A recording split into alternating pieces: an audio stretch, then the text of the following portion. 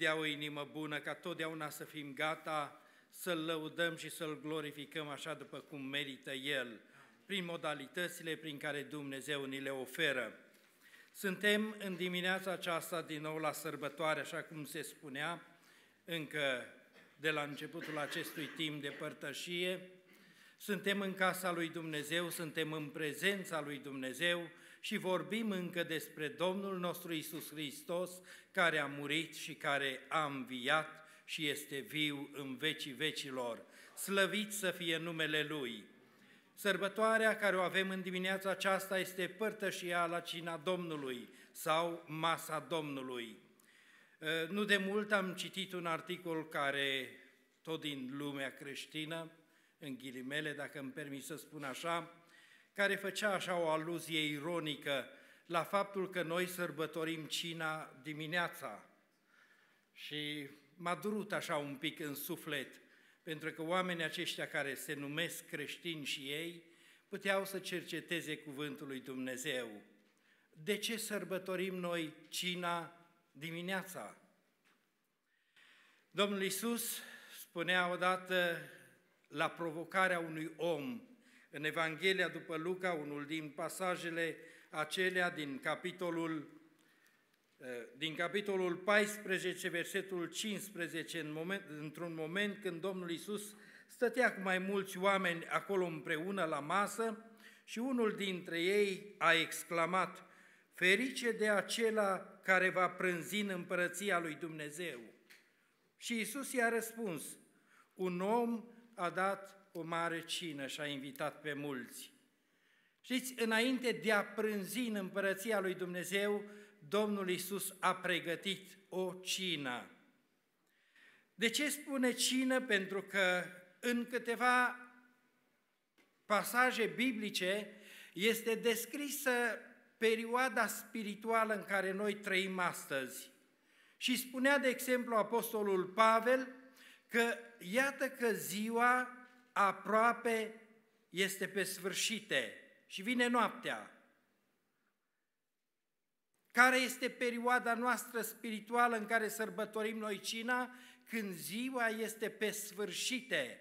Nu contează în care zi a săptămânii, nu contează în care oră a zilei, ca perioadă spirituală, noi suntem la sfârșitul zilei și vine noaptea, apoi dimineața. Epistola către evrei, evrei, în primul capitol, în versetul 2, spunea cuvântul lui Dumnezeu, că după ce ne-a vorbit Dumnezeu întâi prin profeți de-a lungul istoriei, la sfârșitul acelor zile a trimis pe Fiul și ne-a vorbit prin Fiul. Iată de ce în perioada noastră spirituală noi suntem spre sfârșitul zilei. Mai mult decât atât, trăim zilele din urmă, care este de fapt tot un sfârșit al viacului pe care îl trăim și vine ziua, ziua care nu va mai avea sfârșit. Dar nu insist mult asupra acestui subiect. Ce ce vreau să scot în evidență este că Domnul Isus ne pregătea cina în timp ce ucenicii au pregătit Paștile. Fratele Beni spunea în dimineața aceasta acest pasaj că L-au întrebat ucenicii, Doamne, unde vrei să-ți pregătim Paștele? Și Domnul Iisus le-a spus cum, unde și în ce împrejurări pot să pregătească Paștele. Și ei l-au pregătit. În timp ce stătea cu ei la masă, Domnul Iisus le-a spus un lucru pe care ei nu l-au auzit până atunci. El le pregătea Paștele pentru ei. Care a fost Paștele pe care le-a pregătit Domnul Iisus? a fost trupul lui, a fost viața lui, a fost sângele lui. În timp ce ucenicii pregăteau Paștele după lege, el pregătea cina, dacă vreți, sau noul Paște după legea și voia lui Dumnezeu. Așa am ajuns noi să sărbătorim cina Domnului care ne-a pregătit-o El. Iubiții mei, gândiți-vă când veniți la masa Domnului, la cina Domnului, că nu este de fapt un lucru inventat de noi, nu este un lucru practicat de noi pentru că așa e doctrina noastră și obiceiul nostru. Este ceea ce Domnul Isus a inaugurat, a făcut, a desăvârșit odată pentru totdeauna. Fiind la cina Domnului, suntem la masa pe care El ne-a pregătit-o. La cina cea de taină, El stătea la masa pe care i-au pregătit-o ucenicii. Dar în același timp, ucenicii stăteau la masa pe care le-a pregătit-o Isus. Noi stăm la masa pe care ne-a pregătit-o Isus. Faptul că am citit al doilea pasaj din Cuvântul lui Dumnezeu din Cartea Apocalipsei este că, de fapt, la cina cea de taină, în timp ce pregătea trupul și sângele lui Domnul Isus pentru viața lumii întregi, a făcut o făgăduință care se leagă pentru totdeauna de acest eveniment important. Ne-a făcut făgăduința că într-o zi vom fi cu El în împărăția lui Dumnezeu. Domnul Isus, așa după cum auzeam din dimineața aceasta în pasajele citite, din Isaia 53, de exemplu, a avut multe lucrări de făcut pe pământul nostru. Și dacă a venit în lumea noastră și a murit pentru noi, spunea în Isaia că prin rănile lui suntem tămăduiți și venim noi cu argumentul acesta în rugăciune totdeauna înaintea lui Dumnezeu când avem probleme de boală.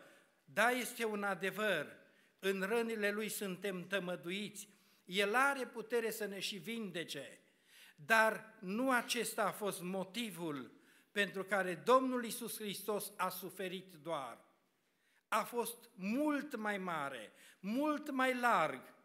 Domnul Isus a murit în locul nostru pentru păcatele noastre, pentru ca să ne salveze pe noi, să ne ierte pe noi, să ne primească pe noi în împărăția Lui. Și Domnul Isus vrea să ne pocăim noi, să fim ai Lui, nu pentru viața aceasta, nu pentru binecuvântările doar care ni le dă aici zilnic, pe care noi le cerem în fiecare zi. Îi cerem în fiecare zi pâinea cea de toate zilele și Dumnezeu ne-o dă. Îi cerem sănătate, îi cerem condiții de viață bune și Dumnezeu ni le dă. Atât este de mare bunătatea Lui, dar nu este suficient. Apostolul Pavel, privind oamenii care credeau în Domnul Isus Hristos, îl acceptau, îl doreau, doreau să aibă părtășie cu el, dar numai pentru viața aceasta, pentru nevoile care le au zilnic oamenii și cu care vin înaintea lui Dumnezeu și parcă sunt cei mai împliniți atunci când Dumnezeu le ascultă rugăciunile și le dă. Dar dacă numai pentru viața aceasta ne-am pus nădejdea în Isus, spunea el, suntem cei mai nenorociți dintre cei toți oamenii. Care este dorința noastră pentru care suntem înaintea lui Dumnezeu, pentru care credem în El, pentru care acceptăm jertfa Lui și pentru care ne împărtășim cu trupul și sângele Domnului. Este doar viața aceasta sau este cea viitoare? Uitați-vă în viața aceasta, oricât am fi de fericiți, suntem totuși plini de necazuri. Oricât de bine ne-am simțit împreună, vedeți, avem despărțiri. Despărțiri fie în trup aici, periodic, dar fie chiar și veșnic. Avem dureri, avem neajunsuri, avem boale, avem neputințe și ne dăm seama pe timp ce trec anii, că toate acestea sunt mai reale în viața noastră. Acestea ne aduc fericirea? Nu ne pot aduce. Oricât de multe lucruri și de mărețe lucruri și de încântătoare lucruri ni s-ar oferi, la un moment dat nu mai găsim plăcere în ele. Vârsta, puterea, gusturile vieții nu mai sunt pentru ele. Și ne dăm seama că suntem trecători în lumea aceasta. Ce dorim? Dorim împărăția lui Dumnezeu. Domnul Isus ne-a promis că acum stă la masă cu noi, dar într-o zi vom sta și noi la masă cu El în împărăția Lui. Dorim noi lucrul acesta? Pentru toate lucrurile ne rugăm zilnic, dar pentru momentele acelea când vrem să fim cu Domnul nostru Isus Hristos în împărăția Tatălui, ne mai rugăm? Ne frământă aceste neajunsuri pe noi, probleme sufletești, spirituale și ne dăm seama, așa cum ne dăm seama de nevoile zilnice și ne doare inima și dorim împlinirea lor. Ne rugăm cu lacrimi de atâtea ori pentru problemele noastre zilnice, dar pentru împărăția lui Dumnezeu, pentru a ajunge acolo, ne frământă, ne doare sufletul, ne luptăm, simțim apăsarea sufletească în lăuntrul nostru, nevoia să ne rugăm pentru aceasta sau ne bazăm așa cum zic mulți, o face Dumnezeu ce-o vrea acum ne are milă de mine. Ce facem noi? Cât ne doare? Cât ne luptăm pentru a ajunge în împărăția lui Dumnezeu? Pasajul din Apocalips spune atât de frumos, dar în scurte cuvinte, despre cum va fi atmosfera acolo și în primul rând spunea că va fi acolo foarte minunat în prezența lui Dumnezeu. De câteva ori este repetat în pasajul acesta, dar nu numai în acesta, în multe alte pasaje unde descrie atmosfera din prezența lui Dumnezeu, când acești oameni sfinți, acești oameni care au ajuns în împărăția lui Dumnezeu, Spune, stăteau în picioare înaintea scaunului de domnie și strigau cu glas tare și ziceau, mântuirea este a Dumnezeului nostru. Îngerii stăteau în prejurul scaunului de domnie, bătrânii stăteau în prejurul scaunului de domnie, toți se aruncau cu fețele la pământ înaintea Domnului. Ce atmosferă frumoasă! Acolo va fi frumos, în prezența lui Dumnezeu. Aici câte o clipă așa care de multe ori ne punem la îndoială atunci când constatăm că Dumnezeu este prezent în biserică și mergem acasă plini de fericire, o clipă, acolo vom fi veșnic în prezența lui Dumnezeu. Va fi frumos. Va fi frumos acolo. Nu numai atât, spune că acolo nu vor mai fi necazuri, nu vor mai fi îngrijorări, nu vor fi probleme. Iată ce spunea versetul 16. Nu le va mai fi foame, nu le va mai fi sete, nu-i va mai dogoră nicio arșiță, nici soarele, nici vreo altă arșiță. Acolo nu vor mai fi condiții neprielnice, nu vor fi lipsuri. Acolo vom fi împliniți. Cât de frumos va fi în împărăția lui Dumnezeu. Dorim să ajungem acolo? Dumnezeu să ne ajute să tânjim de, de dor după împărăția Lui. Nu numai atât, dar vor uita, vor uita apăsarea, trecutul, povara, dureri, lacrimi, pentru că în versetul 17, în încheiere, spune că Dumnezeu va șterge orice lacrimă din ochii lor. Știți, cel mai mult ne apasă trecutul nostru, de câte ori și aducea mama aminte de tatăl meu după ce murise, totdeauna povestea cu lacrimi. De câte ori ai o tragedie în viață, când te uiți în urmă și când te gândești la aceea, la acea tragedie, te gândești cu lacrimi, cu durere, îți provoacă durere, apăsare, sufletească, simți acea durere încă apăsând. Ori de câte ori te gândești la păcate, la o viață de ruină care ai trăit-o în trecut, te gândești cu durere, dar în ziua aceea, în împărăția lui Dumnezeu, El va șterge orice lacrimă. Vom uita trecutul. Nu ne vom mai aduce aminte că undeva am suferit, undeva am fost nedreptățiți, undeva pe pământul acesta am fost loviți. Nu ne vom mai aduce aminte, ce frumos va fi în împărăția lui Dumnezeu! Și nu numai atât, vom fi fericiți și împliniți în vecii vecilor. Spune căci mielul care stă în mijlocul scaunului de domnie va fi păstorul lor și îi va duce la apele, ă, la izvoarele apelor vieții. Iată ce face Dumnezeu pentru noi. Ne-a pregătit împărăția și Domnul Isus ne-a promis, vom fi cu El acolo Doamne, ajută-ne! Dar ce trebuie să facem ca să fim acolo?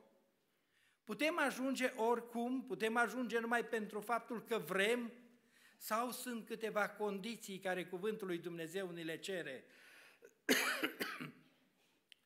și acolo vom putea fi și noi? Primul verset care l-am citit spune că acolo era o gloată mare pe care nu putea să o numere nimeni, din orice neam, din orice seminție, din orice norod, din orice limbă. De patru ori pune aici cuvântul lui Dumnezeu, orice, din orice. Dumnezeu nu este părtinitor. Dumnezeu mântuiește și pe albi, și pe negri, și pe galbeni, și pe pieile roșii. Dumnezeu nu se uită la culoare. Dumnezeu mântuiește din orice naționalitate a pământului, din orice neam. Dumnezeu nu ține cont nici de rasă, nici de naționalitate. Dumnezeu mântuiește și este gata să o facă. O promite. Unii oameni spun, cred că de mine nu se îndură Dumnezeu, eu nu sunt în cartea Lui sau în cartea mântuirii Lui.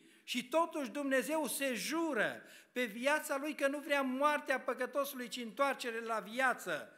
Pentru tine vrea Dumnezeu mântuirea? Nu poți să spui că Dumnezeu nu te-a ales și nu te vrea mântuit. Dumnezeu te vrea. Apoi spune că Apostolul Ioan spune că Domnul Isus este jertfa de ispășire pentru păcatele noastre, dar nu numai pentru ale noastre, spunea el în capitolul 2 din versetul 2, ci pentru ale întregii lumi. Deci Domnul Isus are putere să ierte o lume întreagă. Și totuși, acolo în împărăția Lui vor fi oameni care vor împlini câteva condiții. Prima condiție am găsit-o aici, unde spune în versetul 9, în partea a doua a versetului, că oamenii aceștia care au ajuns în împărăția lui Dumnezeu erau îmbrăcați în haine albe, îmbrăcați în haine albe. Scuzați.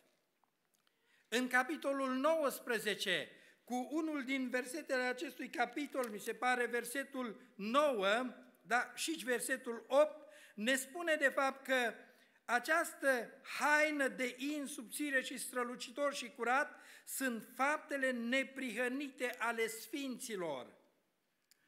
Oamenii care vor ajunge în împărăția lui Dumnezeu nu vor ridica doar o mână sus când zice cineva cine dorește și se predă și spune eu și în palmaresul unor oameni este trecut că încă doi s-au predat.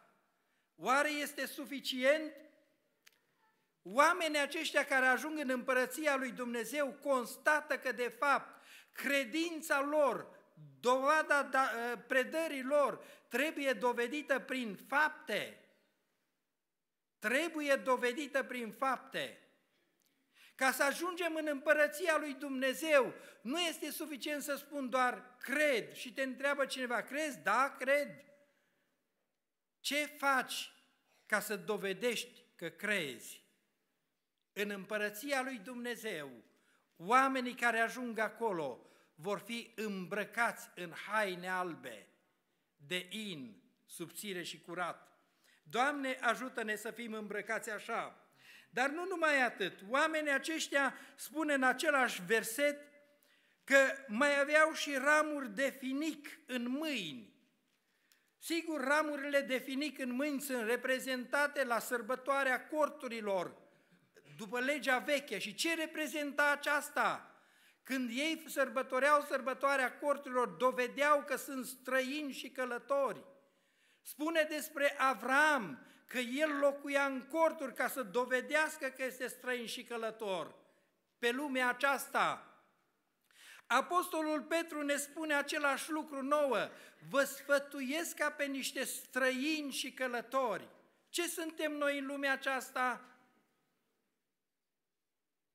Mai mult, Apostolul Pavel spunea, cetățenia noastră nu este aici, este ascunsă sau este cu Hristos în Dumnezeu, în împărăția Lui. Acolo este cetățenia noastră. Oamenii care ajung în împărăția lui Dumnezeu sunt oameni care nu consideră că au ceva aici sau tot ce au aici trimit dincolo, pentru că acolo va fi împărăția lor statornică. Oameni care nu-și pun încrederea în lucrurile materiale, în lucrurile trecătoare, oamenii care nu aleargă și disperă pentru lumea de acum și viața de acum, ci se gândesc la cea viitoare și își pregătesc acolo locul și împărăția. Își pregătesc acolo comoara pe care o vor moșteni o veșnic. Oamenii aceștia care ajung în împărăția lui Dumnezeu au în mâini ramuri de finic, ca să, să, să dovedească că ei nu și-au pus încrederea în viața trecătoare, au constatat, au fost convinși că aici sunt străini și călători și nu le aparține nimic și că țara lor este acolo. Doamne, ajută-ne să fim așa. Apoi, oamenii aceștia și-au spălat hainele în sângele mielului. Așa spune versetul 14, ultima parte a versetului. Ei și-au spălat hainele și le-au albit în sângele mielului. N-au fost oameni care n-au avut niciodată vină, n-au fost oameni care n-au greșit și ei au fost vinovați în atâtea lucruri. Dar oamenii aceștia au știut să se recunoască, au știut să meargă la soluția prin care puteau să-și curețe hainele. De multe ori când greșim și greșim față de aproapele nostru, căutăm justificări, căutăm cumva o soluție care să nu ne facă atât de vinovați sau cel puțin să împărțim vinovăția cu celălalt. Dar oamenii care ajung în împărăția lui Dumnezeu aleargă la soluția reală de a-și rezolva problema sufletului, a greșelilor, a păcatelor lor. Și aceștia au greșit ca și noi, dar au găsit soluția reală în care și-au rezolvat problemele, sângele mielului. De aceea suntem astăzi aici, de aceea obișnuim să facem rugăciuni de mărturisire. Avem posibilitatea și noi să ne recunoaștem sincer înaintea lui Dumnezeu, să ne spălăm hainele în sângele mielului. Dacă nu facem aceasta, acolo cu nicio pată, nicio zbârcitură nu se poate ajunge. Va trebui să ne rezolvăm problema de acum. Cei care ajung acolo și-au spălat hainele în sângele mielului. Mai mult decât atât, au fost biruitori în necazuri. Tot același verset, versetul 14, spune că aceștia au venit din necazul cel mare. Cel mare și noi avem atâtea necazuri mici neînsemnate de atâtea ori și nu putem trece prin ele. Ni se încruntă fața, ă, ne simțim plouați așa cum avem noi expresia să o spunem de atâtea ori, când avem necazuri. Și totuși cei care ajung în împărăția lui Dumnezeu, prin toate necazurile mari și mici, au trecut biruitori. Doamne, ajută-ne!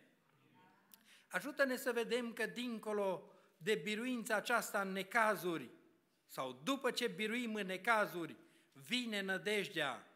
Atunci vine nădejdea. Spunea Apostolul Pavel romanilor că după ce trecem prin încercare, trebuie să avem răbdare și răbdarea aduce biruința în necazuri și biruința aceasta aduce nădejdea toate într-un lanț. Nu putem ajunge la nădejde, nu putem ajunge în împărăția lui Dumnezeu dacă vreți, fără a fi biruitori în necazuri.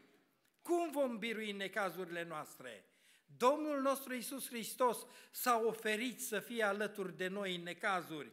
Așa spunea cuvântul lui Dumnezeu în, în psalmul 91, un psalm atât de frumos când Dumnezeu ne promite că va fi cu noi când Dumnezeu ne promite biruința și spune în versetul 15, când mă va chema, voi răspunde și voi fi cu el în necazuri.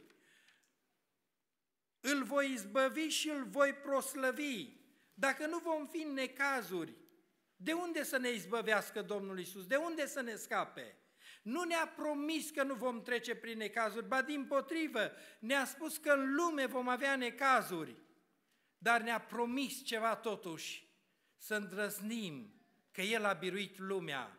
Și aici ne promite că dacă ne temem de El, dacă îl iubim, dacă îi suntem mai Lui, vom fi biruitori în necazuri. Dumnezeu să ne ajute și la aceasta. Și în ultimul rând la care vreau să fac mențiune acum în dimineața aceasta este că ei au fost recunoscuți de împăratul. Ce frumos în împărăția lui Dumnezeu să ajungi să fii primit, să fii chemat, să fii invitat, să te primească și să te recunoască Domnul Isus. În una din pildele descrise de Domnul Isus în, în Luca în 14, unde vorbește despre în Matei în 7, în versetul 21 până la 23, unde vorbește despre nu cine îmi zice, Doamne, Doamne, va ajunge în împărăția lui Dumnezeu, ci cel ce face voia celui ce m-a trimis. Spune un lucru foarte deslușit acolo, că au fost oameni care au fost în biserică și ei, au făcut lucrări spirituale și ei și au ajuns acolo și nu i-a recunoscut împăratul. Ce durere! Aceia n-au avut parte cu el. Dar ce fericiți sunt aceia care au avut ușa deschisă, au putut să intre și au avut o parte veșnică cu Domnul nostru Isus Hristos. Ne recunoaște? Spunea Traian Dorz în una din cântările lui că Isus Hristos te va cunoaște nu după numele ce-ți pui, ci după ranele îndurate sub crucea ta și crucea Lui. După ce ne va recunoaște Domnul nostru Isus Hristos? Care va fi identitatea care o vom arăta atunci când vom ajunge înaintea Lui, ca să ne recunoască și să ne primească, să ajungem în împărăția Lui Dumnezeu? Trebuie să fim recunoscuți de împăratul. Doamne, ajută-ne să fim găsiți în ziua aceea în haine albe, spălate în sângele mielului, cu ramuri de finic în mâini și biruitori în necazuri. Amin.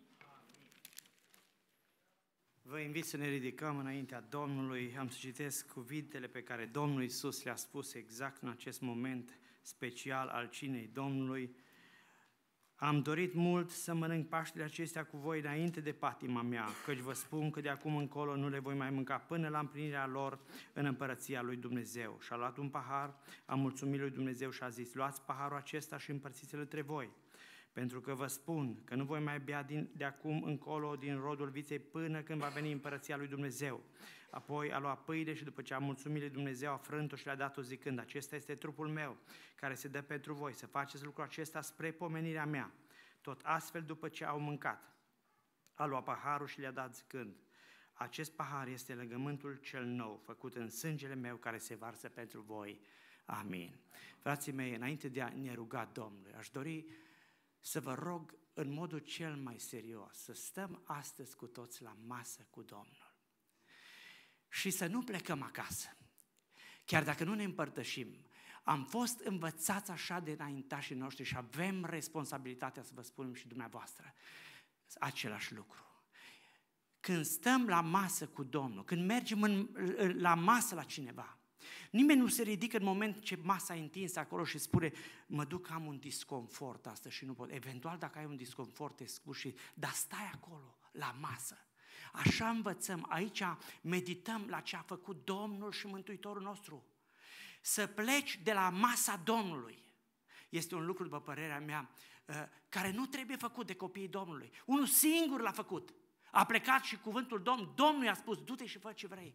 Dar noi, chiar dacă nu ne împărtășim și azi avem un disconfort spiritual și nu putem, încă nu ne-am rezolvat problema, deși mai este timp în rugăciunea care vom face, să facem lucrul acesta, dar să nu plecăm, că aici medităm la ce a făcut Domnul pentru noi. Aici putem aprecia și copiii ar trebui aduși aici. Noi, copii, n-am plecat odată de la cina Domnului și ne-am spus, stați aici, așa veți învăța despre suferințele Domnului pentru noi și pentru mântuirea noastră. Domnul să ne ajute să înțelegem lucrul acesta. Ne rugăm Domnului cu toții, cerem Domnului încă iertare și uh, reabilitarea noastră, să putem să stăm astăzi la masă cu El. El este aici, El ne invită la masa Lui, așa cum am auzit. Domnul să ne pregătească inimile să putem să o facem cu bucurie, așa cum a făcut ucenicii în prezența Domnului. Ne rugăm cu toții Domnului și la finalul acestei rugăciuni comune pe fratele Radul îl rog să vină aici în față, uh, să rostească rugăciunea pentru uh, Uh, Azimă și prin fratele Vasile Bara ne rugăm Domnului pentru uh, rodul viței. Iisus doar ție